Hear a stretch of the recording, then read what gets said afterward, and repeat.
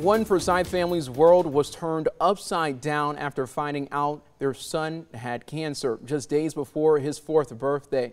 In March, Colton Poulnott was diagnosed with lymphoblastic lymphoma. Colton's parents say they noticed that he had often had shortness of breath. Colton was put on breathing treatments and paid a visit to the doctor four times in February, where they put him on antibiotic steroids to treat his shortness of breath. When he was taken off of the antibiotics and steroids, the symptoms would come back. So a CT scan was done, and that is when doctors discovered a mass.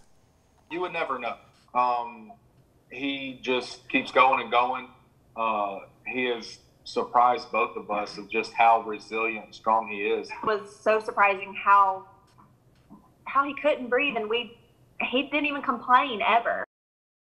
Keep on fighting, young man. They also say they want to raise awareness about this type of cancer so that other families don't have to go through the same thing. You can find information on our website about how you can help this family, but the family says the biggest thing that they need right now are prayers from the community.